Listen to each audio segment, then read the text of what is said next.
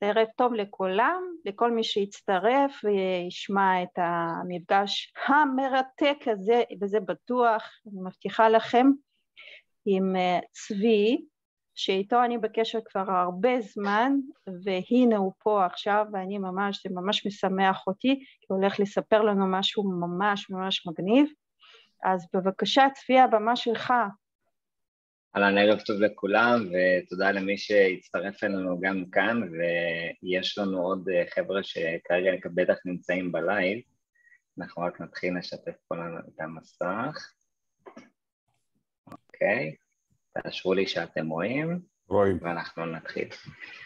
Uh, טוב, בסדר, אז uh, היום זה קצת מפגש יותר קליל, בדרך כלל זה הרצאות פרונטליות, קצת מכירים יותר את הקהל, פה יש מגוון רחב של אנשים, שאת רוב הפרצופים אנחנו עשינו כבר היכרות לפני, אנחנו גם מכירים מהקהילה, מכירים מה, מעולם העסקים, ומה שבעצם אנחנו נעשה היום, אנחנו נדבר קצת על בניית העולמות וירטואליים שהם ללא קוד, אני אציג קצת את עצמי לפני כן, אני בוגר הקריה האקדמית אונו, תואר שני מנהל עסקים, יזמות טכנולוגית, היום אני עושה את הדוקטורט שלי בטרנספורמציה הדיגיטלית בין ווב 2 לווב 3, נושא מאוד גדול, אפשר לדבר עליו עד מחר, אנחנו כן נתמקד בכל העולם של ה-VR וה-Metaverse, אנחנו נסביר שזה לא אותו דבר, אני אוהב לפתוח את ההרצאות שלי במשפט הזה, VR זה לא Metaverse, Metaverse זה לא VR, הם כן יכולים להתקיים ביחד, אנחנו ניגע בהכל.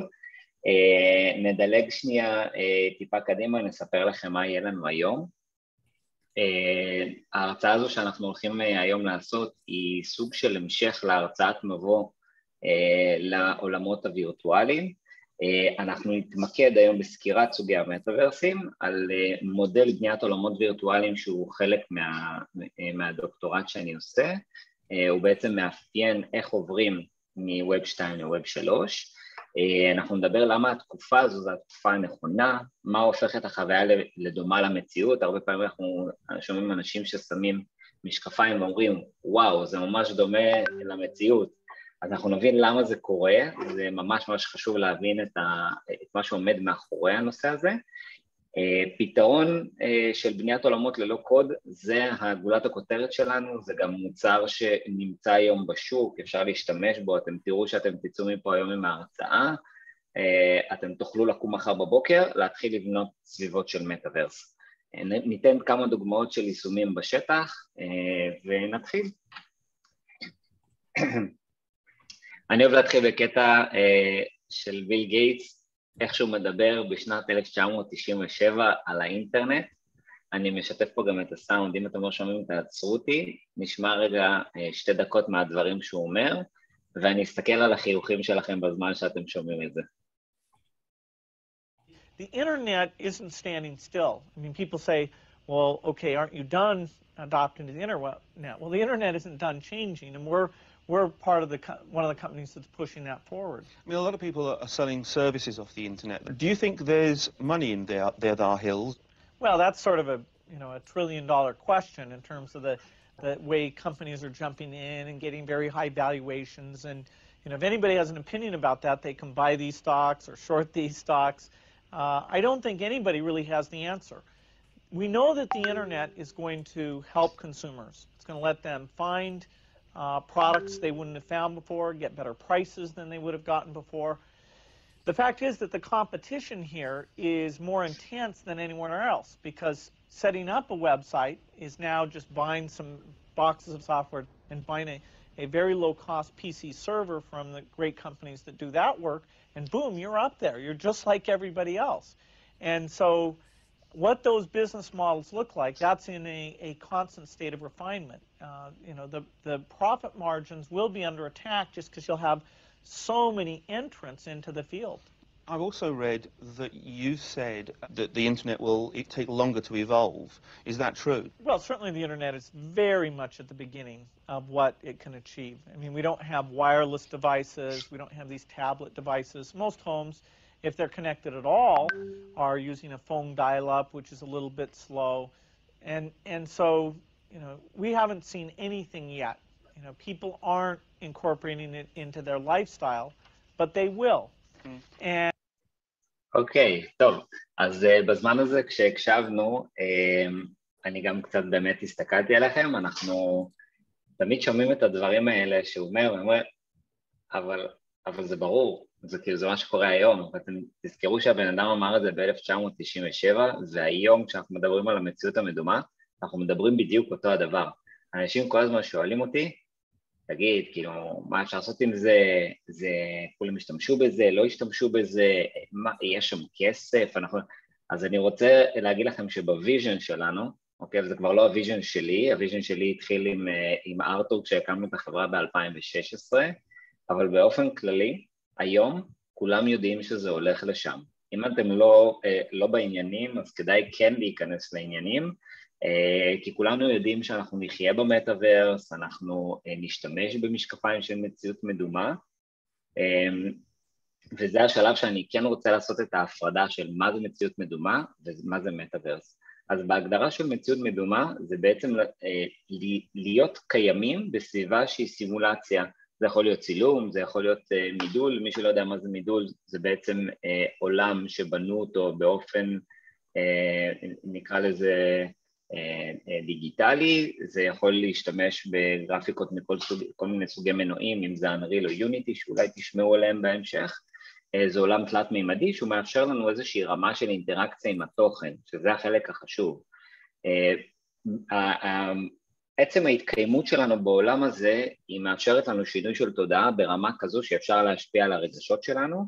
אה, למי שמתנסה אי פעם במציאות מדומה זה יכול להיות הדבר הכי obvious שאני לא יודע אם ניסיתם את זה בעבר או לא, אה, ללכת על קרש בגובה, שאומרים לכם תלכו על זה, אתם יודעים שאתם על הרצפה ועדיין חושבים שאתם הולכים בגובה ואתם מרגישים את הפרפרים בבטן.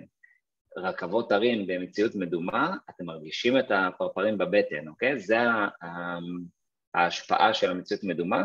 אגב, יש פה ושם כל מיני מחקרים שמתארים אה, אימה במציאות מדומה, שאומרים שזה too much. זה ממש מרגיש אמיתי, ומי שמפחד מהדברים האלה, תוותרו על זה. אני אישית נגיד לא אוהב זומבים ואימה, אני מוותר על התענוג. עכשיו, מה זה מטאוורס? המטאוורס אה, הוא, הוא לא חדש, הוא לקוח מספר אה, של אה, ניל סטיבנסון מ-1992, ספר שנקרא Snow Crash, לא היה איזה רב מכר אדיר, לא הספר אולי הכי מעניין בעולם, אבל הוא מתאר עולם אחר, עולם מקביל שאנחנו מתקיימים בו, אה, לפני משהו כמו אולי כמעט שנה כבר, אה, מרק צוקרברג החליט שפייסבוק משנה את השם שלהם למטא, הייתה הצהרה מאוד גדולה, חזון המטאוורס. חזון המטאוורס הוא לא של אה, צוקרברג, אני, אולי אני שובר למישהו קצת מיתוס והוא יושב לו בנוח בכיסא, ואני אספר לכם שהעולם הזה של המטאוורס הוא פשוט מדבר על אבטארים שיש לנו איזושהי זיקה אליהם שהם אה, מתארים אותנו או מייצגים אותנו בתוך העולם הזה, אני מאוד מחובר אליהם והם פועלים בשמי, אבל זה לא חייב להיות מציאות מדומה, מציאות מדומה זה רק אחד הכלים שאני משתמש בהם בשביל להיכנס לתוך המטאוורס, זה יכול להיות כל משחק אה, שהוא מולטיפלייר, מי שזוכר, היה לנו את Second Life לראשונה כבר ב-2003, 2003 אנחנו נמצאים ב-2022 למי שלא זוכר, אה, משחק מדהים שבו אתה נכנס ומקיים את החיים שלך במקביל, אתה יכול להיות ביום עובד בעבודה אחת, אה, ב Second Life אתה עובד בעבודה אחרת לגמרי, אתה מרוויח שם כסף, אתה יוצא לעבודה, יש לך משפחה אחרת, אה, תארו לכם שזה כבר היה בשנת 2003, אה, ואחרי שעשינו את ההפרדה הזאת, אני מקווה שכולם יצאו מפה ויגידו שמטאוורס זה לא פייסבוק, אוקיי? אה, אני יכול להגיד לכם שאחד הניסיונות העגומים אה, שהיה לנו בנושא הזה, הגיע אלינו לקוחה, ביקשתי שתשלח לי את, ה, את הלוגו שלהם כדי שנוכל לשים את זה בתוך הסביבה שלהם. היא שלחה את הלוגו שלה, מצורף ללוגו של, של, של מטא. אמרתי לה, אבל זה לוגו של מטא, כי היא לא יכולה לשים את זה. היא אמרה לי, לא, לא, זה לוגו של המטאוורס. אלא אה, לא, זה לוגו של מטא, מטא זה לא מטאוורס, את יכולה לשים את הלוגו שלך ולהגיד שאת נמצאת במטאוורס, זה מצוין, אחלה, אה, כניסה טובה לעולם הזה, אה, לא להשתמש בלוגו של מטא זה לא מטאוורס. נמשיך הלאה. לא להיבהל מהשקף, אני יודע שיש אנשים שלא אוהבים גרפים, אני אקל עליכם את הנושא הזה. תעשו רגע פס אנכי באמצע ותסתכלו על כל צד שמאל, תתעלמו ממנו לגמרי, זה בלוקצ'יין, הרצאה אחרת, נדבר עליה בהזדמנות. בואו נסתכל רגע על צד ימין, יש לנו את הרבע העליון והרבע התחתון. הרבע העליון הוא בעצם מתאר לנו כמה מטאוורסים היו קיימים ועודם קיימים כשאנחנו מדברים על PC או על קונסולות, אנחנו לא מדברים על VR בכלל. איך, איך אפשר לקרוא את הנושא הזה? הנקודות האדומות שנמצאות מסביב, ככל שהן יותר גדולות, הן מתארים יותר מספר יוזרים, כשהגדול ביותר זה 25 מיליון פלוס, אוקיי? הקווים האדומים שמגיעים אלינו למרכז, הם מתארים כמה זמן זה קיים. כולם שמים לב שכולם מגיעים למרכז, כמעט כולם ברובם מגיעים למרכז, זה אומר לפני שנת 2017 הם כבר היו קיימים, הגיעו לכמויות של אה, עשרות מיליונים, אוקיי? העיגול הקטן יותר מהגדול הוא מתאר בין 5 ל-25 מיליון, המון פלטפורמות שמתארות מטאוורס על PC, אוקיי חברים? לא קשור ל-VR, שהם מטאוורסים, ושימו לב, זה רק לפני שנה יצא המונח כביכול מטאוורס שכולם יצמדו אליו בעניין הבאזוורד, ואם אנחנו עוברים אה, לתוך ה-VR, נרד לרבע התחתון מצד ימין, אנחנו יכולים לראות שרובם התחילו אחרי שנת 2017, אי שם שנת 2017-2018, התחילו המטאוורסים אה, החדשים נקרא לזה, של ה-VR, הם לא מפותחים כל כך, יש לנו עוד הרבה מה לעבור, אה, אנחנו כולנו נשמח שהדבר הזה יגדל ויצמח, ופה זה בדיוק מתאר את מה שביל גייטס אמר, יש לנו עוד הרבה מה לעבור. העולם הזה כרגע מציע לכם את המינימום של המינימום, הוא עוד יציע לכם הרבה יותר. מעולה. אה, יש לנו קצת זמן אז אנחנו נתמקד קצת יותר במודל, זה מודל חמשת ה-I אה, שפיתחתי אותו בזמן הדוקטורט ביחד עם המוצר שאנחנו אה, נראה לכם בסוף, ומה שהוא אומר זה בואו רגע נבדוק, נעצור שנייה לפני שאנחנו נכנסים לתוך המציאות המדומה למטאוורס וננסה למפות את מה אנחנו רוצים לדעת שהיישום שה, שלנו בסוף ואיך אנחנו יכולים לשדרג אותו. אם אנחנו הולכים על הדבר הראשון, הוא מדובר על אימרז'ן. אימרז'ן, למי שלא יודע, מדובר uh, בעברית uh, אימרסיה, uh, קצת uh, או הטמעה, קצת פחות uh, uh, זוהר באנגלית, אבל הוא מדבר על הרמה שבה הבן אדם או המשתמש מרגיש שהוא נמצא בתוך התוכן. ככל שנוסיף לו יותר אלמנטים, זה יכול להיות חושים, אה, כמו שאתם רואים כאן, ככל שניתן לו יותר חושים, הוא ירגיש שהוא נמצא יותר בתוכן ויהיה קשה לנתק אותו מהסיטואציה. אנחנו יכולים להוסיף נגיד רוח במקומות שהוא, שבתוך ה-VR הוא רואה, אה, נגיד שהוא טס במטוס, תוסיפו לו רוח, הוא מרגיש יותר בתוך החוויה. יש היום אפשרויות להוסיף גם ריח, יש uh, מפעל שנקרא OVR, נמצא בארצות הברית, הוא מייצר ריחות לתוך ה-VR, דברים מדהימים שבכלל לא חלמתם, אתם יכולים להזמין ריח במה שאתם, באיזה, באיזה ריח שאתם רוצים, לדוגמה אתם יכולים להתקשר להגיד uh, שלום אני רוצה בבקשה ריח של פטריות יער ממדינה מסוימת יכינו לכם.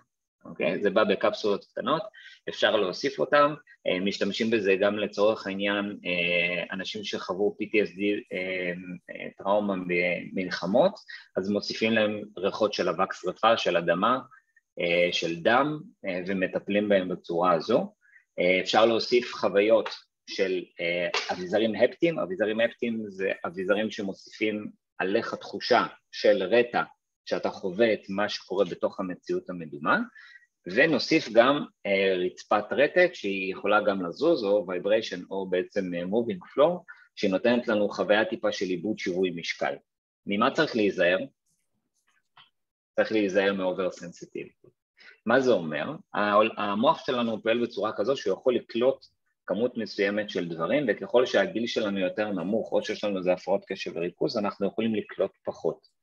אם אני, אצא, אם אני ארצה לייצר איזושהי חוויה שהיא באה להעביר איזשהו מסר, או למשל ללמד, להעביר איזשהו training מסוים, ואני אעמיס על המשתמש שלי יותר מדי דברים, זה ימנע ממני את המטרה שאליה רציתי להגיע, זה אה, מוכר יותר בתחום נגיד של הילדים, אתן לכם דוגמה הכי פשוטה, הכנסתם ילד לאיזושהי חוויה שרציתם ללמד אותו, אה, ניקח את תחום רפואת השיניים, איך לצחצח שיניים.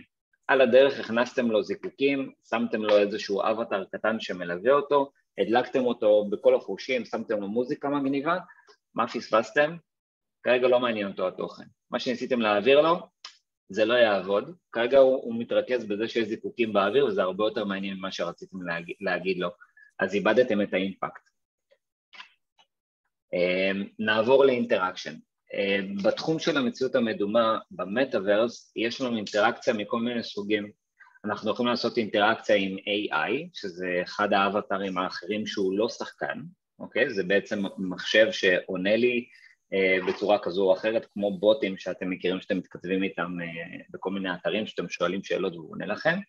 יש לנו אינטראקציה עם עם מניו, עם כל מיני תפריטים, ששם גם צריך לקבוע מה יהיו החוקים, שתבינו שהיום אין חוקים, זה מערב פרוע, אין פרוטוקולים, אין שום דבר שיכול אה, לתת לכם אפילו כיוון לאן אתם הולכים, אין מסמכים על הדברים האלה, כל אחד עושה מה שהוא רוצה, אה, ויש המון המון חוויות שאפילו נותנות לכם כמה אפשרויות כדי לעשות עליכם A-B testing ולראות על מה, במה אתם תשתמשו יותר טוב וככה הן באמת, באמת קובעות בסוף מה יקרה. אה, אינטראקציות עם אובייקטים, אה, זה גם משהו שהוא לא מאה אחוז מפוצח, כי אנשים שנכנסים לתוך, לתוך ה-VR בדרך כלל זה עדיין עם שלטים, אמנם יש מעקב ידיים, אבל יש לנו הרבה אובייקטים שאני יכול לעשות איתם המון דברים, כמו איך אני יוצר אינטראקציה בלהרים אובייקט, האם אני יכול לזרוק אובייקט, האם אני יכול להפעיל אותו, זה לחיצת כפתור, בסך הכל יש לנו כמות מוגבלת של כפתורים שאנחנו צריכים לקבוע מה יהיה החוקים שכל אחד מהם עושה. אה, והרמה האחרונה זה האינטראקציה עם משתמשים אחרים, ששם כמו שיש לנו כבר אינטראקציה קבועה אה, בתחום של הזום למשל, אנחנו יודעים מי ההוסט, והוא שולט. אם אני רוצה שמישהו לא ידבר אפשר להשתיק אותו. האם זה ככה במציאות המדומה? האם לכולם יש אותה רמה של פרמישנס? יש דבר כזה בכלל מארח? האם המטאוורס שייך לאחד מהם? יש המון המון שאלות שעולות מהדברים האלה, אה, אני אתן לכם אה, למשל דוגמה, אה, דוגמה פחות, נגיד נקרא לזה פחות חיובית, במטאוורס של פייסבוק, אוקיי, שאמרנו לי יש להם מטאוורס אבל הם לא המטאוורס, התלוננה מישהי שעברה הטרדה. אמרו פייסבוק, אוקיי, אין בעיה, אנחנו מבינים שזה too tight, קרוב מדי, אנחנו נעשה איזושהי ספירה של מטר עשרים שהולכת אחרי הבן אדם ואי אפשר להתקרב אחד לשני, שיש מרחק בין אנשים שאי אפשר ליצור אינטראקציה. האם זה טוב? אני לא יודע, אין, אין על זה כאילו נכון או לא נכון, אבל תשימו לב שברגע ששמו את, את הבועות האלה שמרחיקות אנשים, הם מנעו מאנשים לעשות אינטראקציה ישירה. מה שה-VR דווקא בא להגיד, אוקיי, בואו נעשה אינטראקציה ישירה, אפשר ללחוץ ידיים, אפשר להתקרב, אפשר לעשות הרבה דברים שאי אפשר לעשות אותם בעולם האמיתי, אפשר לדבר על זה שעות, אבל זה חלק מהדברים. אה, אה, אילוסטרציה, אה, זה ככה אנחנו באמת בונים את העולם, יש לו רמות שונות שאנחנו יכולים להגיע אליהן, שוב ניקח את כל הדברים שהם low poly, low poly זה אומר גרפיקה ברמה די נמוכה, היום רוב המטאוורסים הם ברמה מאוד נמוכה של גרפיקה, אם אנחנו אומרים מיינקראפט, רובלוקס, סנדבוקס, דיסנטרלנד, גם פייסבוק, מטא, כולם עובדים על מה שנקרא לואו פולי, הם מורידים את הגרפיקה כי הם מוסיפים המון פיצ'רים אחרים שהם באים על חשבון הדברים האלה והם מעדיפים גרפיקה נמוכה ולייצר כל מיני סוגים של אינטראקציה, יותר אנשים באותה סביבה, הארדוור יותר נמוך שהלקוח צריך, כי בעצם אם אני נותן לבן אדם גרפיקה גבוהה, אני גם מצופה מהצד השני שיהיה לו ציוד קצה שהוא יותר טוב.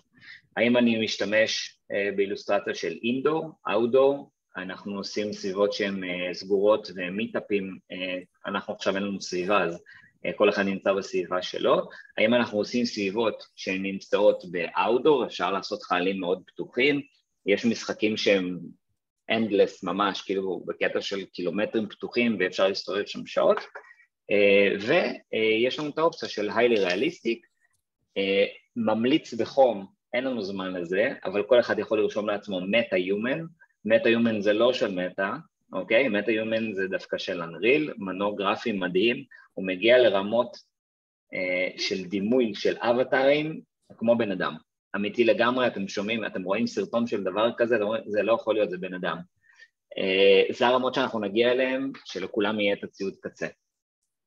כשאנחנו בונים אה, סביבה של מציאות מדומה או מטאוורס, אנחנו צריכים לשים לעצמנו רגע בראש מה אני בא לפתור. אם אין לכם יעד מסוים שאתם באים לפתור, אתם לא יודעים מה האימפקט שאתם הולכים לתת, עזבו, שבו על זה בבית, תחשבו, תראו מה אתם רוצים להשיג, כי ככה רק אפשר לעשות את האפיון הנכון ולהגיע לתוצאות.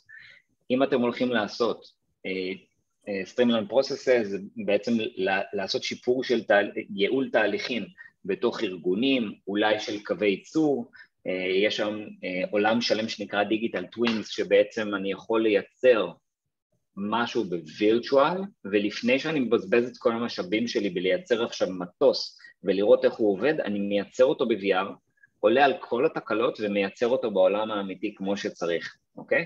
זה דברים שאפשר לעשות היום. אמ, אנחנו לא נעבור על הכל, אבל אני חושב שהבנתם את הרעיון שאנחנו צריכים להגיד מה האימפקט שלנו בסוף כדי להגיע אליו. והרמה האחרונה המעניינת ביותר זה באיזה ציוד קצה אני משתמש. יש לא מעט פרויקטים שהם מתחילים ואומרים, אנחנו, אה, אתן לכם דוגמה אמיתית, התקשר אלינו אחד הלקוחות, אומר, אה, יש לי 200 קסדות, אני רוצה לייצר אינטראקציה בין האנשים, אומר לו, מצוין, בוא תגיד לי רק איזה קסדות קנית, אומר לי, קניתי קסדות שפה אתם רואים את זה, זה ברמה הבסיסית, שכתוב basic 360 אה, viewing, זה אומר שזה אה, פסיבי, אי אפשר לעשות אינטראקציה, אין שלטים, הבן אדם המשתמש יכול רק להסתובב ימינה-שמאלה ולחיות את העולם עצמו, אי אפשר להתקדם, אי אפשר ליצור אה, אינטראקציות, לא כלום, אמרו לו מצוין, קח את ה-200 קסדות, זרוק אותם לפח ותקנה 200 חדשות, נוכל לדבר, כי אי אפשר לייצר את הדברים האלה, וזה חשוב קודם כל לדעת מה רוצים לעשות ולא לקנות לפני שאתם יודעים מה המוצר הסופי שלכם. אה, נגענו בבייסיק, אה, אנחנו יכולים לעלות במדרגות עד שאנחנו מגיעים למה שנקרא הייפר-ריאליטי. הייפר-ריאליטי זה דבר מדהים, שיש כמה חברות בודדות בעולם שמתעסקות בזה בעיקר בתחום הבידור, אה, יש גם בתחום הביטחון האמת, שמה שהן עושות זה לקחת חפצים מהעולם האמיתי ולהכניס אותם לתוך ה-VR. הכוונה היא שאם אתם עושים עכשיו נגיד אימון בירי, אה, היה לנו פרויקט כזה שהיו צריכים להחליף נשקים, אה, באיטליה יש שוטרים שהחליפו את הנשקים שלהם לאקדח שנקרא אקלרן קוך, עכשיו אומרים רגע שנייה, כולם צריכים לעשות עכשיו אימונים, זה מיליוני תרמילים שהולכים להיזרק, צריך להכשיר אותם על הכל, עשינו להם אקדח פיזי שהוא אותו אקדח, זה מבוסס על איירסופט, שאנחנו שמים עליו טרקר, ובעולם האמיתי הם ממש דורכים את הנשק, יורים, מרגישים את כל ההדף והכל, אבל הם רואים ב-VR שהם פוגעים במטרות. אה, בהמשך אנחנו נשתף, אה, טניה תזכיר לי בסוף המצגת, אנחנו נשתף כמה סרטונים. אחלה, מצוין. עכשיו, אחרי שהבנו את הנושא הזה, בואו נבין למה זה קורה דווקא עכשיו. אה, זה קורה דווקא עכשיו בגלל נגישות שיש לנו עכשיו לדברים האלה, אה, היה שימוש כבר לפני שנים בדברים האלה, ב-1954 גם נאס"א השתמשה ב-VR, אבל זה מערכות סופר מורכבות, כמו המחשבים הגדולים האלה שהיו שומעים לכם אה, אי שם באיזה מעבדה שתופסים חדר שלם, היום זה מגיע לרמה של 300 דולר, יש לכם משקף כבר בבית, קפצו למחסני חשמל, יש לכם ב-1300 שקל כבר היום לקנות משקף, תהנו ממנו בבית, יש ים של תכנים, כיף להשתמש בזה, זה כבר נכנס לכל מקום אפשרי, האימפלמנטציות הן אינסופיות, יהיה לכם שימוש בדבר הזה, אה, והדבר אה, אולי החשוב גם בנוסף לזה, שיש לנו תשתיות לדבר הזה, ואני אסתייג ואני אומר, שהיום כל המטאוורסים שאתם מכירים, כולל כל הגדולות, יש מגבלה. המגבלה היא של 100 שחקנים במקביל, אה, יש, יש פה משחק של נגיד 120 כל מיני כאלה, אבל אנחנו מדברים על סדר גודל של 100 שחקנים במקביל, וגם אתם רואים פתאום שיש עשרת אלפים אנשים, אין בעיה, אבל רק זה בקבוצות של 100. זאת אומרת, 100 מפה לא יכולים ליצור קשר עם 100 האחרים. אמר לי מישהו מנווידיה, אמרתי לו מתי זה, מתי זה פתיר, אז הוא אומר, כשיחליפו את הכבל התת-ימי, אני אתקשר אליך. אז כשיחליפו את הכבל התת-ימי אה, ויהיה פריצה של הדבר הזה, אתם תראו דברים הרבה יותר מדהימים, כמו, שוב, אני מחזיר אתכם אה, לביל גייטס, שהוא אמר, אנחנו עדיין בלי מכשירים של ויירלס. אז הוא אמר את זה ב-97, אנחנו הרבה זמן אחרי, וזה מגיע לשם. Uh, ברשותכם, אנחנו נראה, אני אראה רק את השקף הבא, אנחנו לא נחפור עליו יותר מדי, יספיק לכם נראה לי גרף אחד. Uh, מה שהשקף הזה מציין, למי שלא מכיר, uh, זה life cycle, זה גרף של life cycle שמתאר את כל uh, הטכנולוגיות האפשריות והוא אומר איפה הן נמצאות היום ומתי זה יגיע לשלב של בשלות שאפשר להשתמש בו. אז נקל עליכם את הכל, אה, יושב מישהו במרתף, אומר יש לי את הטכנולוגיה הבאה, אף אחד לא מכיר אותו, יש איזה הייפ מטורף שכולם אומרים וואו זו הטכנולוגיה הבאה, חייבים לראות מה זה, משקיעים המון המון כסף, זורקים מיליונים ומיליארדים, אה, אגב מי שלא יודע את המשקפיים שהיום מטא הם, אה, מוכרים, הם היו פרויקט בקיקסטארטר שמישהו ביקש 250 אלף דולר, קיבל 2.5 מיליון דולר, במקרה קוראים לו פלמר לקי, היה לו מזל, ובמטא קנו אותו בשני מיליארד דולר, אוקיי? מקיקסטארטר של 250 אלף, אה, הגיע למכירה של החברה. אנחנו היום, סליחה, נמצאים בשלב האחרון של ה-life cycle, שזה אומר שזה נמצא בפרודקטיביות, אז מי ששואל מתי נוכל להשתמש ב-VR, התשובה היא אתמול, איחרתם, אוקיי? אפשר כבר להתחיל להשתמש במוצרים האלה. אה, נתקדם קצת לחלקים אה, יותר מעניינים, אה, זה קצת הפיוטר של ה-VR. אני רוצה להראות לכם, אתם רואים פה הרבה מאוד לקוחות שלנו, שאני אומר שלנו זה של החברה, חברת אינברס, קבוצת אינברס מחזיקה כמה חברות, אחת של תפעול, יש מתחמים, אני, אני כרגע אתרכז בחברה של התוכנה שעושה מחקרים, כל החברות האלה כבר בפנים, כבר בתוך המטאוורס, אתם אה, מוזמנים כמובן גם להצטרף אה, כל אחד במקום שבו הוא עובד, אה, ולמה אני מראה לכם את הנושא הזה? כי בזכות החברות האלה הם בנו את המוצר יחד איתנו, שמאפשר לכם לצאת מתוך ההרצאה הזו וללכת לבנות לעצמכם את המטאוורס שלכם. אני אראה לכם סרטון קצר על איך הדבר הזה עובד.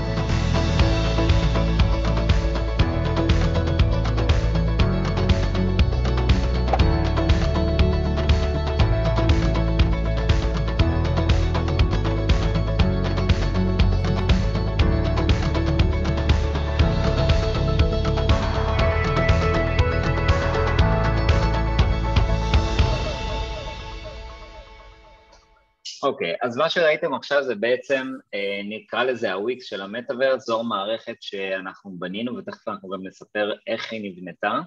אה, אני חייב לציין פה שזה לא איזה promotion לזה, כי זה מערכת שאתם יכולים להשתמש בה כבר מחר חינם, אז אה, רק אם אתם רוצים לעלות לרמות גבוהות יותר, אם אתם ארגונים וכאלה, כנראה שזה יעלה לכם כסף, אבל אתם מוזמנים, בסוף השיחה אנחנו נעשה איזשהו אה, match עוד פעם עם טניה ותוכלו להשתמש כבר בגרסה.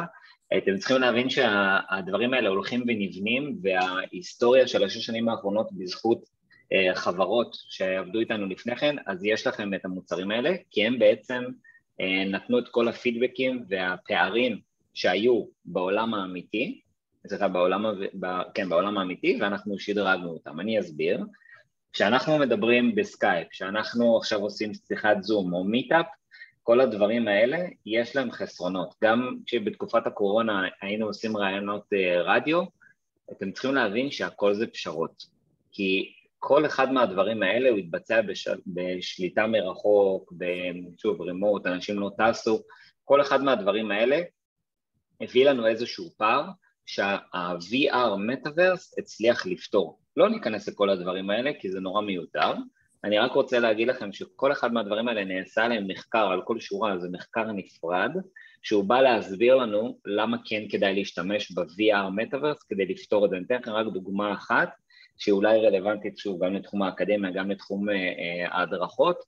אה, גם הסטודנט וגם המרצה, היה להם מוטיבציה מאוד מאוד נמוכה בזמן הקורונה, כל אחד מהסיבות שלו. הסטודנט אמר, מאוד קשה לי ללמוד כשלא נמצא איתי המרצה, אוקיי? הוא יושב אי שם, הוא יכול להיות גם בפיג'מה, לפעמים גם לא מדליקים את המצלמות. מאוד קשה לי ללמוד, הוא לא נמצא איתי כאן. אני לא, אני לא מרגיש שהקשב שלו איתי, הוא עושה הרבה דברים גם במקביל. מהצד השני, המרצה אומר, תראו למה הפכו אותי, אני הייתי מרצה פרונטלי, עכשיו מעמידים אותי מול מצלמה. אני לא רגיל לעמוד מול מצלמה, אני רגיל לעמוד מול קהל. מקליטים אותי, רוצים שאני אעשה ב live, זה קצת מתרגש, אז יוצא מצב שגם לפעמים מקליטים את השיעורים מראש, אז אין אינטראקציה, אין שאלות, הוא לא נמצא בלייב, כמו שאגב אנחנו עושים, אה, עושים עכשיו, וכל מה שקורה בתוך ה-VR מטאוורס הוא פותר את כל הדברים האלה, כי המרצה כבר מרגיש חלק מהנושא, הוא לא צריך להקליט שום דבר, הוא לא, הוא לא מרגיש שהוא עומד מול מצלמה, הוא עומד מול אנשים, כי האבטרים שלי נפגשים באותה סביבה והם פותרים לכולם את הבעיה. אנחנו נדלג אה, שוב טיפה קדימה, איזה פיצ'רים, אה, יש לכם פה רשימת פיצ'רים נורא ארוכה, אבל תבינו שבתוך הסביבה של המטאוורס VR יש לכם כל כך הרבה פיצ'רים שהם אפילו לא קיימים לא בעולם האמיתי ולא בפלטפורמות אחרות שיכולות להביא לכם ערך לכל הצדדים. אני אסביר, אפשר להיכנס קודם כל מכל מכשיר, זה יכול להיות טלפון, PC, VR, אני חושב שכבר הסברנו את זה מקודם ש-VR זה לא מטאוורס, מטאוורס זה לא VR, אך יש בזה, אה, יש ביניהם קשר. אנחנו היום יכולים כבר לעשות data collection ולענות על הרבה מאוד מהצרכים שלנו בלי לשאול את המשתמשים שלנו איך הם חוו את החוויה. בדרך כלל כשאנחנו עושים איזושהי פעילות מסוימת, מעבירים אחר כך שאלונים, רוצים לדעת כל מיני דברים, ב data collection בתוך ה-VR מטאוורס אתם לא צריכים כלום. ה data כבר אה, מדברת בעד עצמה. אם אתם רוצים לדעת איזה משתמש קרא או לא קרא, או כן צפה או לא צפה, במה שאתם נתתם, אין צורך לשאול אותו.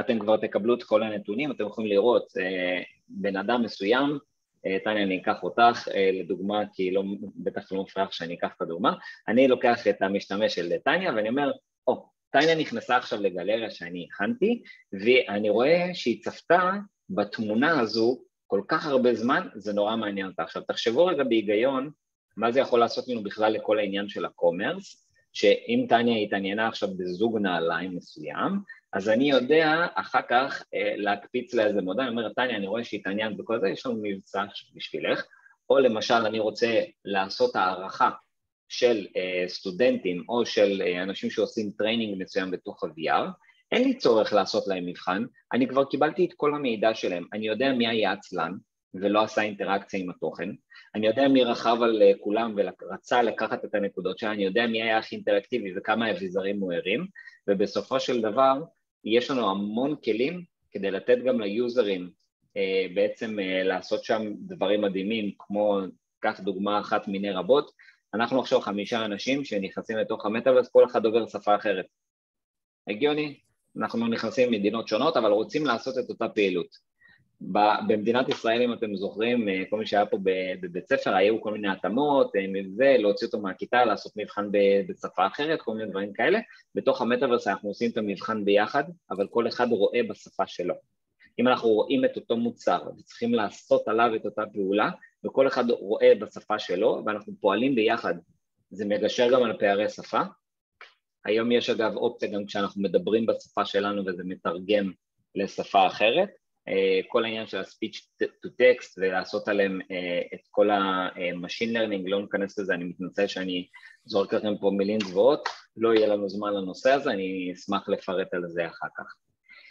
אה, איך אפשר להשתמש בזה, ובזה אנחנו מסיימים ואני מעביר את הבמה אליכם כדי לתקוף ככה בשאלות מעניינות, לשם זה אנחנו עושים גם מיטאפ לא רק בשביל ההרצאה. אה, מה אנחנו עושים בזה בשטח. כל הדברים שאני מראה לכם עכשיו זה לא מה אפשר אולי לעשות, זה דברים שבוצעו, זה דברים שאנחנו מבצעים אותם היום, אתם יכולים גם לעשות את זה. אה, יש לנו פרויקט אה, הורדת חרדה בטיפולי שיניים, שהוא פועל עם רופאה רופאת שיניים שברחובות, מה שהיא בעצם עושה זה מעבירה את כל הטיפולים שלה, כולם ככולם, עם VR. עכשיו למה אנחנו עושים את זה ככה? כי אנחנו רוצים לדעת על איזה טיפולים זה כן משפיע, על איזה לא משפיע, מה האפקט של זה, ואני יכול להגיד לכם אה, שגם מבחינת החרדה הגענו לאזור ה-50% פחות חרדה של ילדים שמוכנים לעבור את הטיפולי שיניים, שזה נתון מדהים. הנתון השני, שהוא גם טכני, שתכף אני אסביר מה זה אומר, אבל גם הילדים שיושבים ועושים את הטיפול, הם משתמשים באחוז מאוד גבוה פחות בגז, בגז צחוק. עכשיו למה זה קורה? שני דברים, א', דעתם מוסחת, הם לא כל כך בעניינים, הם מאוד, מאוד נהנים מהתוכן שהם צופים והם שוכחים מהכאב. דבר שני, טכנית אי אפשר לשים, אז אומרים להם, אתם רוצים VR או שאתם רוצים מסכה של גז צחוק? הם אומרים, לא תודה, אני לוקח את ה-VR. אז אי אפשר גם וגם, אה, בסוף זה עושה את אותו אפקט.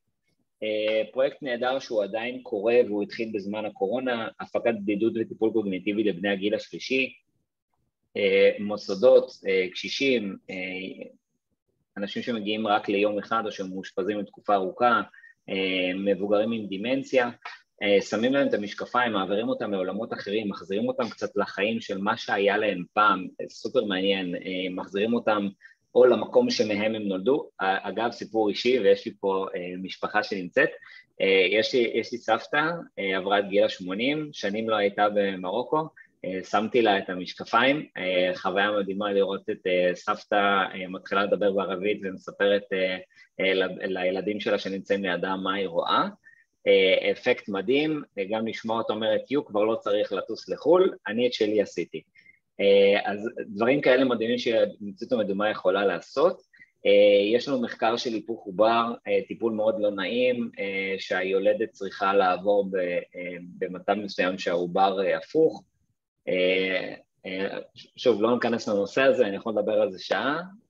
פרויקט ענק שעשינו לאיחוד האירופי במשך שנה וחצי, הטמעה של training לכל מיני אנשים בכל אירופה, אוקיי, זה משהו רוחבי, יש מעל 50 עמדות שמפוזרות היום באירופה שעושות אימונים לסוהרים לצורך העניין, שלא צריכים לטוס אה, לבית כלא, לקחנו בית כלא אמיתי בפדובה, מיפינו אותו עם אדריכל, עשינו אחד לאחד, שמים את המשקפיים, אתם נמצאים בתוך אותו בית כלא, אה, פעם הבאה שאתם תהיו בבית כלא תגידו, תגידו כבר הייתי שם, אותם דלתות, אותם חצרות, אה, בדיוק אותם חלונות, אותם אביזרים שנמצאים אה, בתוך בתוך הסביבות שלהם, הם עושים את כל הפעילות הזאת מרחוק, והם היו בתוך הבית כלא הזה, אגב זה נחשב להם אה, חתום כאילו הם עשו את, ה, את הפעילות בבית הכלא.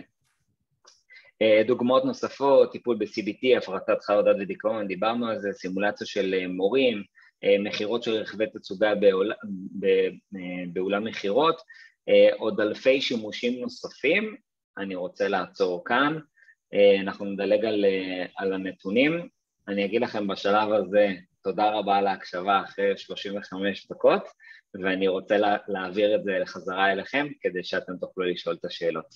תודה רבה לכולם. טוב, זה, אנחנו נצטרך לקבוע אה, עוד אחת, אה, לי לא הספיק. הכי זעזע אותי שאת הגז הצחוק לא נותנים להורים. כאילו, הילדים מקבלים את כל הכיף, ומה עם ההורים? אבל אפרופו הורים... אנחנו מקבלים ישר זריקת הרדמה. לא אנחנו משלמים רק. אה, ההורים, אפרופו, יש פה זוג הורים שלך, נכון? אני מניחה, לא של, לא של ארתור. נכון. אז uh, ברוכים הבאים, תודה רבה שאתם איתנו. Uh, איך קוראים לכם? כן, מדברים אליכם, כן, כן, ההורים שעשו את צבי, כן. לא בווירטואל, בפיזיקל, כן. אני אענה בשמם, הם על מיוט, קוראים להם יעקב וגילה. יעקב וגילה, נעים מאוד, תודה רבה שאתם איתנו, ממש כיף לנו וכבוד לנו גדול. הבן שלכם מככב, אתם בטח גאים בו, אז אם תרצו להגיד כמה מילים או לשאול שאלות, אתם מוזמנים. יאללה, מי שואל ראשון? ליאור פה הפציץ פה בשאלות בצ'אט, ליאור, אל תתבייש. יאללה, בבקשה, בוא נלך על זה, שאלות מהצ'אט. ליאור, לא צריך להתבייש, אתה רוצה לפתוח... אני אפסיק רק את השיתוף מסך, שנוכל לראות את כולם בגדול, ונתחיל רגע שאלות, בסדר? אז רגע, אולי תציג את ארתור בכל זאת. אחרי ההורים יש, יש שותף. אני, אני יכול גם להציג את עצמי עם זה. אה, אתה יכול לבד? יאללה. אתה יודע מה? יאללה, צבי, תציג אותי. רק בוא תעצור את השיתוף שאנחנו כן. נראה כולם. יאללה. אוקיי. טוב, אני חושב שאחרי ההורים אבל גם מגיע תודה רבה לאשתי, היא גם, כאן. אשתך בטוח, היא כן, סופגת לא מעט. בטוח. כן, אז, אה, אז, אז אוקיי, אז אה, ארתור השותף שלי, אנחנו כבר אה, עושים יזמות משהו כמו עשר שנים ביחד, אנחנו מכירים, לפני שש שנים אנחנו פתחנו את החברה, אנחנו די משלימים אחד את השני, יש לנו אישיות מאוד מאוד שונות, מי שהכיר אותי ומי שהכיר את ארתור. ארתור מגיע אלינו מהתחום של, של שיווק, גם במשרד פרסום באזור הדרום, אנחנו הגענו לאיזשהו מצב שבו אה, כל אחד היה עצמאי בתחומו, אה, הגענו לאיזושהי רוויה מסוימת ואמרנו צריך לשבור את תקרת הזכוכית, הגיע הזמן לעבור לתחומים חדשים, קצת יותר עתידנות, דברים עם פוטנציאל ענק. וככה אנחנו הגענו לשותפות בינינו. וארתור הוא הראש, ה... נקרא לו הראש היצירתי, הוא אחראי על כל השיווק והמכירות, הוא המנוע אה, הכלכלי המכירתי בכל, ה, בכל החברה, אני בצד הפיתוחי, אה, פחות אה, בפרונט הייתי אומר, למרות שפה אני בפרונט, אבל זה פרונט, נקרא לזה אקדמי פיתוחי, אז, אז הרשיתי לעצמי. מאוד. נאחל לכם הרבה שנים ביחד. תודה, כמו זוג, זה... זה ממש ככה. אני בטוחה שאתה מבלה הרבה יותר שעות מאשר עם משפחה, ככה זה עובד. האמת אה, במקרה שלנו אנחנו גם עובדים הרבה מהבית, אז המשפחה מאוד נהנית מזה. אז זה כאילו business and pleasure, זה לא עובד, כן. אוקיי? ואתה במרתף, כמו שאמרת לי, אני יודעת. בממ"ד. בממ"ד, אוקיי. אמא רוצה להגיד כמה מילים, פתחה מיקרופון? כן, פתחה מיקרופון. וואי, זה זקנים, עד שהם פותחים מיקרופון לוקח להם זמן. זה בסדר, אנחנו פה. אני צריך לציין גם שאימא מרצה בקריית אונו. די. כן, כן מודה בעצמה. לרמה כזאת של קשרים עוד לא הגענו פה. מה אימא מלמדת? אימא מלמד בחוג להפרעות בתקשורת, בתחום אחר לגמרי, והוא בזכותו. אה, אני כאן רוצה להגיד שאם אנחנו מהדור שלנו הצלחנו להבין מה זה מטאוורס ולהבין את היתרונות שלו, אז אה, באמת יכול לשמש המון המון דברים, ואני בטוחה שאתם יותר צעירים ומבינים את זה הרבה יותר בקלות מאשר אנחנו, ואנחנו מתחילים לדבר את השפה, השפה שצריך להתרגל אליה וליהנות ממנה, אבל אנחנו מתחילים, וצריך לחוש וצריך אה, אה, להתנסות וצריך צריך להיכנס להתלהבות של צבי וארתור כדי להבין במה באמת במה מדובר. אני לא שילמתי לה על זה, שתדעו. אה, בטוח, אני ראיתי, אימא תמיד מדברת מהלב, היא לא יכולה אחרת. זה מאוד אובייקטיבית, כן.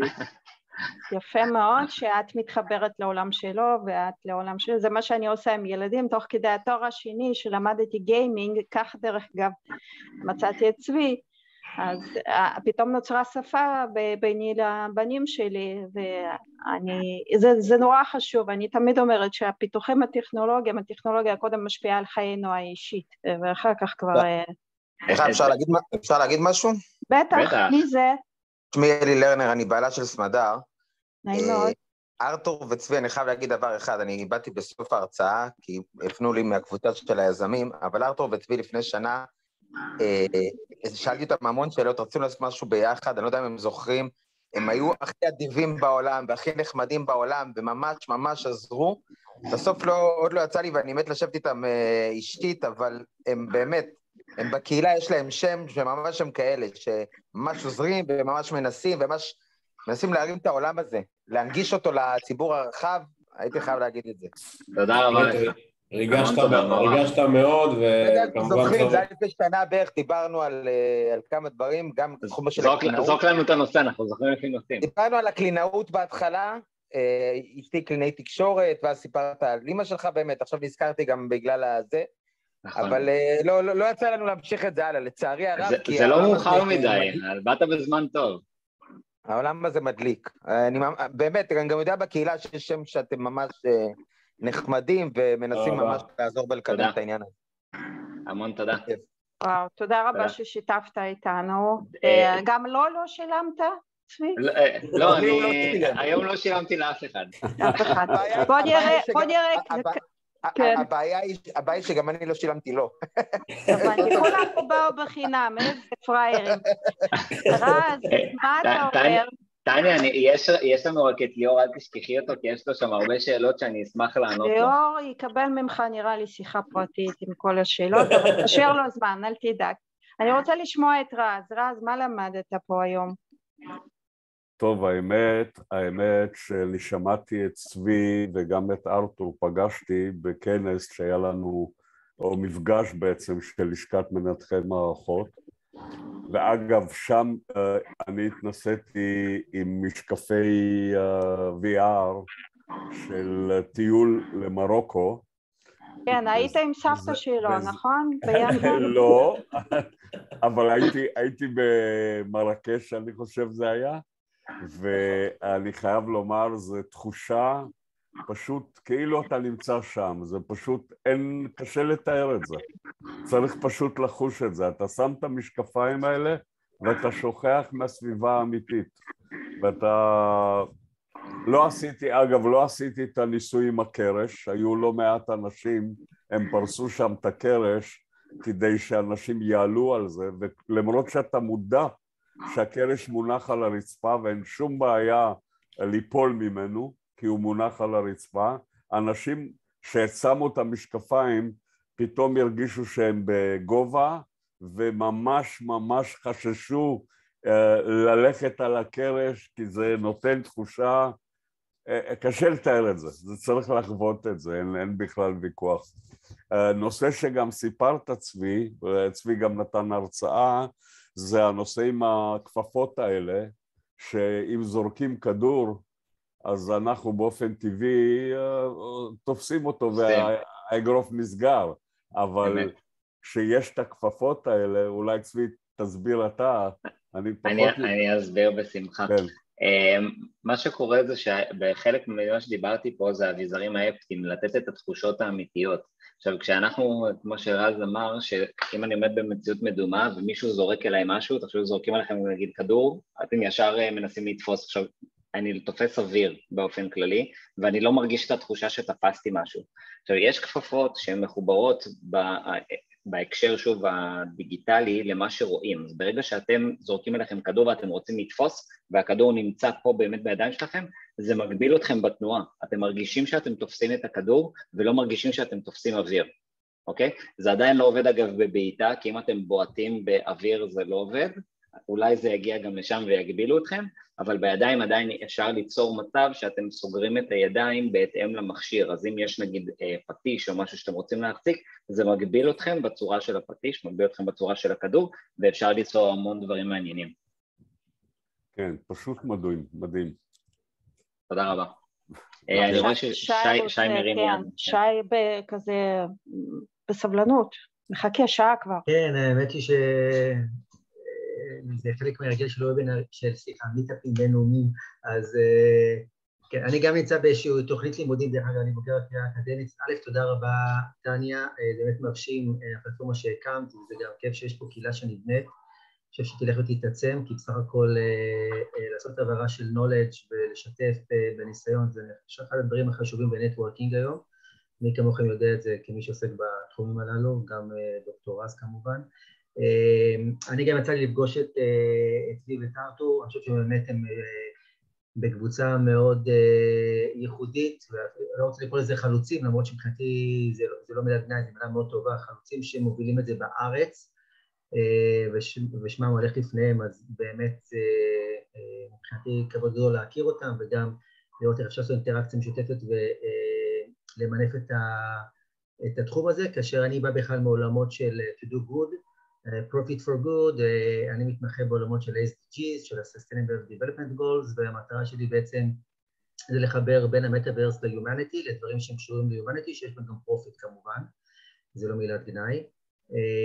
שתי שאלות, ממוד, שתי שאלות ממוקדות, אחת זה שאלה לגבי הפרויקטים שהצגתם, א' מאוד מרשימים, אני חושב שהם באמת גם פורצי דרך בדרך חשיבה שלהם, איך בונים את התכנים, מי בונה את התכנים, איך עושים את המיפוי של התכנים, מה התהליך, אני אפשר להגיד את זה ממש בכמה מילים, בכמה משפטים ספורים על התהליך, ושתיים, זה לגבי, כולם מדברים על אתיקה במטאברס ועל הנושא של סכנות במטאוורס, הייתי, זה נושא רחב ואני חושב שאני לא רוצה שתעשו את זה הרצאה נפרדת בגלל הזמן, אבל משהו מאוד ממוקד שאותי מאוד משך מאינטראקציה עם אנשים מחו"ל שעוסקים ב humanity במטאוורס זה הנושא של הממד הפיזי שהוא חסר שם. בסופו של דבר לממד הפיזי גם יש משמעות, כמו קטע של שחרור דופמינים במוח למשל, מגע פיזי הוא דבר מאוד חשוב גם בקטע של אה, למנוע מחלות נפשיות ודברים האלה שיכולים להתפתח מכל היום להיות מול מסך או בחדר סגור עם, ה, עם היופי הזה שיש לו המון יתרונות מצד שני, אז אם אפשר להתייחס לזה אני אשמח, תודה. בטח. אה, אוקיי, אז קודם כל תודה רבה על, אה, על הפידבקים החמים. דבר שני לגבי שאלתך, היום כשמדברים על מציאות מדומה זה חלק מעולם רחב של עולמות וירטואליים. העולמות הווירטואליים יש לנו Augmented Reality, Virtual Reality, יש לנו Virtual Augmented וכאילו עוד הרבה דברים של הכלאות כאלה למיניהם, עשו לזה שם, השם זה XR, XR זה Extended Reality. עכשיו למה אנחנו רואים Extended Reality? כי זה בעצם אה, להרחיב את העולם שבו אנחנו קיימים, ולמה אני אומר את זה? כי זה כמו למשל, קחו את האינטרנט, האינטרנט יכול להחליף חלקים מסוימים של דברים, הוא לא יכול להחליף הכל.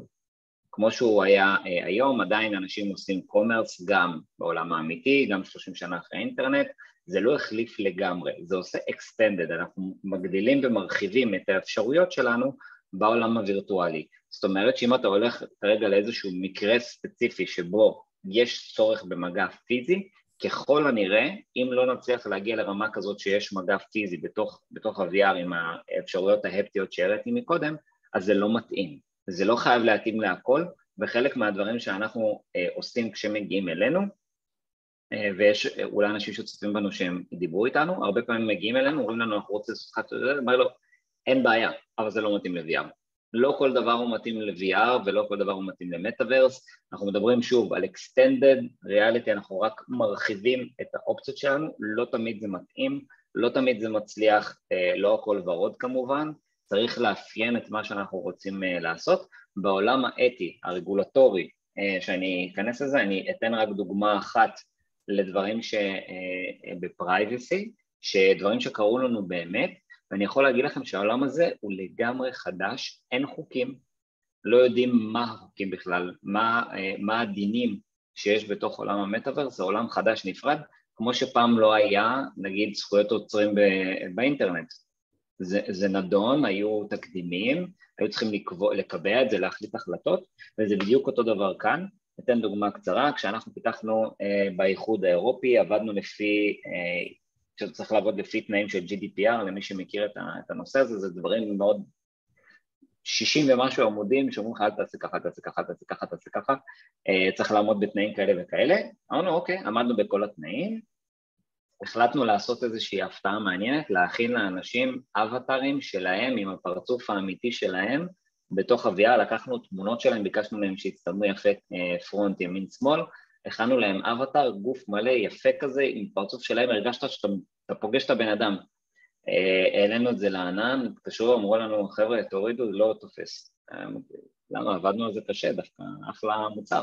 אה, כן, אבל יש פה איזשהו חשש של גניבת זהות, כי אם אני לא מכיר את הבן אדם ואני גם לא יודע איך הוא נשמע, והיום אגב אפשר בכלים מסוימים גם לעוות קול, יש כלים היום של Machine Learning ספציפית של NVIDIA, אתה מדבר למיקרופון חצי שעה, אחרי החצי שעה הזאת הוא לוקח את הקול שלך ומסנטז אותו לאן שאתה רוצה, אני יכול לקחת את הקול שלך ולדבר בשמך מה שבא לי. יש פה דברים אתיים, יש פה דברים שהם לא פתורים, יש פה דברים שצריך לדבר עליהם, להעלות אותם, כנראה שיהיו תקדימים, יהיו כמובן, כמו בכל טכנולוגיה, יהיו אה, מה שנקרא האקרים, אה, יהיו פה גנבים, רמאים, שקרנים, אה, יהיו פה הונאות על ימין ועל שמאל בדיוק כמו שהיה בעולם הקריפטו, צריך להיות מוכנים לזה. אה, לא מזמן היה אונס במציאות מדומה. אמת, היה גם אה, אה, מישהי טענה שאנסו אותה למרות שזה כאילו נשמע לכם אה, אה, נורא מצחיק כי כאילו אין מגע, אבל עדיין התחושה שהיא יצאה משם זה תחושה של אונס, אז כאילו אפשר גם לחוות את הדברים, לאו דווקא שהם כאילו קרו באמת, אבל אתם, אתם חווים חוויות טראומטיות גם בתוך המטאוורס, אז זה התשובה הקצרה למה שזה, ואגב זה דיון סופר מעניין, כאילו אפשר לעשות מיטאפים בלי קשר לזה, זרקו נושא ונדבר עליו שעה. זה נכון, אני מסכימה, אני גם מאוד לכל, כל נושא שאני מדברת אני מסיימת עם האתיקה ובאמת זו אחריות אישית של כל אחד על המעשים שלו, לא משנה איפה הוא נמצא, בדיגיטל או, ב, או בעולם הפיזי, ובמיוחד לשאלה של ליאור, דרך אגב ליאור תרגיש בנוח לפתוח מיקרופון, יש לך שאלות טובות, אין מה להתבייש, אבל באמת איפה הגבול, עד לאן נלך, האם לגמרי כולנו נהיה מחוברים רק למטאוורס בסופו של דבר ולא נחיה בעולם הפיזי, או שזה יהיה משהו בין לבין, או שנשמיד את עצמנו בדרך. אי אפשר לדעת, אנחנו נקווה, אנחנו בני אדם שאיכשהו מצליחים לשרוד, אה, נקווה שגם נעבור את זה. אה, אבל המומחים אומרים ש...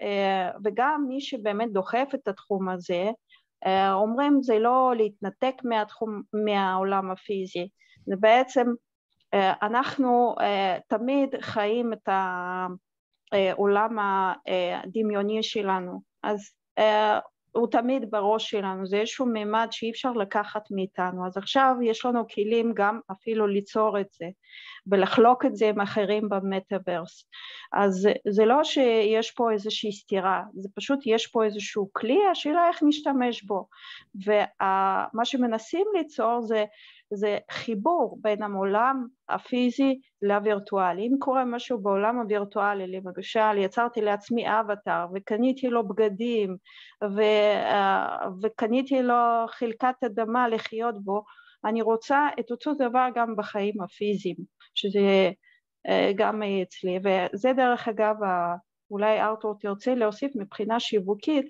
זה, זה בעצם הרעיון, להביא את החפצים הווירטואליים לעולם הפיזיים של האנשים ולעולם הווירטואלי כדי לחלוק איתם כי בעצם ברגע שאתה באינטרנט אתה יכול למצוא אנשים כמוך בכל העולם וזה בעצם הכוח, זה האפשרות. אבל בסופו של דבר הכל יורד לעולם הפיזי, לקהילה המקומית וגם אנשים מדברים על זה, זה השאיפה. נכון שי, גם אתה הרי הרעיון שלך הוא כזה, מהסוג כזה. אה, טניה, אני רוצה רגע להוסיף גם אה, עוד אה, משהו. כן. משהו, משהו לדעתי שהוא אה, חשוב, שאומרים שאנחנו, אה, הרבה אנשים, הייתי נגיד באיזשהו פאנל, שמישהי אמרה, יש לי ילדים, אני מפחדת לאבד אותם למטאוורס. אמרתי לה, קודם כל אל תפחדי, כי הם יהיו שם גם אם תרצי וגם אם את לא תרצי, זה לא תלוי בך. אז או שתזרמי עם זה ותנסי לשקול את הצעדים שלך, ואת יודעת, נראה לי שאת אחת האימהות ש... אומרת לילדים יאללה לכו תשחקו פורטנייט עד ארבע בבוקר כי את מבינה כאילו שיש לזה השפעות גם טובות. אה, אבל המטאוורס שלעצמו הוא גם מחזיר לנו כל מיני דברים שאיבדנו באינטרנט וזה סופר חשוב להבין את זה שפשוט המיומנויות שלנו משתנות. זאת אומרת ילדים שלא כותבים היום אה, על דפים בעיפרון טוב זה לא משנה. זה לא רלוונטי. כולם אומרים כן אבל הם, הם צריכים לדעת לכתוב את זה בסדר, אבל הם מקלידים, למה הם צריכים לדעת לכתוב? הם, כאילו, לכתוב מכתב, הם מדפיסים אותו. אז יכול להיות שאיבדנו איזשהו משהו בדרך, ואיבדנו הרבה באינטרנט, אבל כאן כל ה... ה נקרא לזה היצירת קשר, אנשים היו יוצרים קשר דרך מקלדות ולא רואים אחד את השני, אין להם אף אחד, יש הרבה בריונות ודברים מהסגנון הזה, היום אתם מחזירים אותם למצב שהם דווקא מחזירים לעצמם את הקשר הפיזי והם צריכים לדעת ליצור את הקשרים בתוך המטאוורס כי הם הולכים כמו בעולם האמיתי, הם נמצאים שם והאבטרים שלהם שזה הם, יש מישהו מאחורי הבן אדם הזה, יש להם אה, אה, פרסונה שזה הם בעצמם והם חייבים לגשת לאנשים ולדבר איתם וליצור את זה מחדש, אז זה גם מחזיר לנו דברים שלא יהיו באינטרנט, לא צריך להסתכל רק על הדברים הרעים, יחזרו אלינו מיומנויות חדשות שהדור הקודם איבד אותם אוקיי? זה חשוב. ארתור. אה, כן, אז אני האמת רוצה להתחבר לנושא שהעלית, אה, אני מתייחס לזה ברמה הבין-דורית. אה, אני, מה, אני מדור ה-Y, זאת אומרת הדרך שבה צרכתי את הטכנולוגיה היא התחלקה לשניים, זה התחיל בעולם היותר אנלוגי, ללמוד לקרוא, לכתוב ולשחק בגן שעשועים ולריב עם חברים בשכונה על סופרגול וכדורגל. ועם הזמן, ברגע שקנו לי את המחשב, אז משהו, משהו שם קורה ש, שמייצר אצלי שינוי, זאת אומרת עצם העובדה שאני גר באיזשהו אזור גיאוגרפי זה מקרי לחלוטין, לא בטוח שאני אתחבר לילדים בכיתה, לא בטוח שאני אתחבר למורה, אבל האינטרנט נותן לי איזושהי אלטרנטיבה, נותנת לי קהילות, נותנת לי פורומים, ICQ, מסנג'ר, היום יש את דיסקורד, יש את טוויץ', יש הרבה מאוד פלטפורמה שנותנות לילדים איזשהו מרחב שמה לעשות, צריך להגיד את המילים הקשות, טוב להם יותר בסימולציה, אז למה שהם יחזרו לעולם האמיתי? וברגע שאני הייתי ילד ונער, לא היו לי את הפלטפורמות או הכלים להשתמש באותה גימיפיקציה כדי ללמוד. טוקה בוקה, אתה מכיר את הטוקה בוקה? כן, נכון. לא כולם חשופים... הילדים שלי לא יוצאים מזה, מכורים. כן, אז לא כולם חשופים לדברים האלה, בטח לא המיינסטרים, אבל אני כן יודע להעיד שאני בתור אה, בחור צעיר בן 31, הרבה מאוד מהמיומנויות החברתיות והטכניות שלי כן הצלחתי לרכוש דווקא דרך משחקים. זה פשוט קורה. זה ככה, ככה עובד כל, ה, כל האבולוציה, ככה עובד כל המוח שלנו. עכשיו, היום, נוכח כל ההתפתחות של המטאוורס, זה לא רק משלים את מה שהיה חסר, אלא זה משדרג לחלוטין תחומים שהיו בעיניי יחסית מוזנחים בעולם, כגון הפערים בין ההוראה לבין התלמידים, בין הציפייה שלהם לבין היכולת של משרדי החינוך, כל הנושא של הדרכות אה, שמאפשר אפילו למנוע מוות, כמו לדוגמה הדרכות אה, בעבודה בגובה, בכל מיני בתי ספר לבטיחות, הרבה מאוד יתרונות אה, נוצרו פה בעקבות איזושהי טכנולוגיה. טוב, ארתור, אני הבנתי אותך, אתה גם רוצה מפגש מיטאפ נפרד, אנחנו נדבר גם על זה. תעשי מיטאפ של פילוסופיה במטאוורס. האמת היא שיש מלא, זה באמת פותח הרבה נושאים שכדאי לדבר, אבל אנחנו חייבים לסיים. כמו שאני תמיד אומרת, אנשים מתלהבים פה לקראת הסוף, מתחילים אה, זה, להתחמם, אבל חבר'ה, זה מנה ראשונה, בסדר? מנה עיקרית באה אחר כך, כשאתם ממשיכים את הדיון הזה עם עצמכם, עם הצבי וארתור, אתם מוזמנים להתחבר. ואני רוצה לסיים דווקא במשפט שרז כל הזמן מביא, זה לא משפט שלו, אבל הוא תמיד אומר, אנחנו לא יכולים לעצור את הגלים. נכון, אבל אנחנו צריכים ללמוד לגלוש. יפה מאוד. אז בזה נסיים. נכון. תודה נכון, רבה לכולם. זה לא מובן מאליו שהייתם פה. אה, תודה רבה לכולם. תודה רבה.